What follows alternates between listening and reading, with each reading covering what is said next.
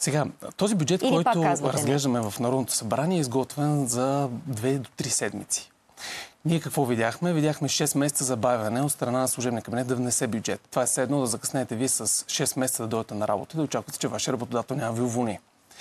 Това, което правиме ние е в този бюджет да заложиме подоходни политики там, където е наистина най-належащо. Знаете, увеличаваме заплатите на учителите, като не само учителите в училищата, но и в детските градини и яслите, защото там също има драстично изоставане в, в доходите.